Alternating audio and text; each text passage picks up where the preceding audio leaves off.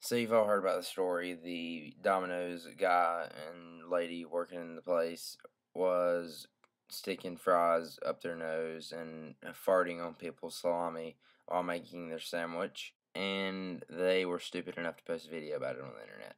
If you haven't seen it, I'm going to post it as a video response to that video. It'll be down there if it gets approved. I don't know. That's what I want to hear about. I don't know what you guys think.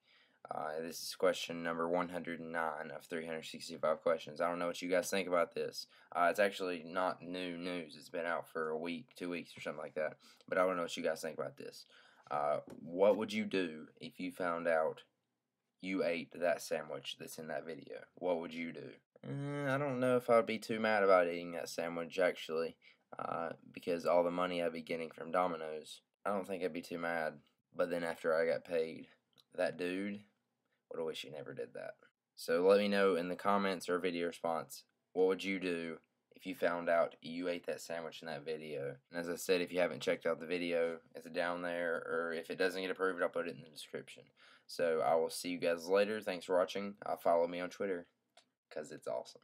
And I'll see you guys tomorrow. Also, don't forget to subscribe. Bye.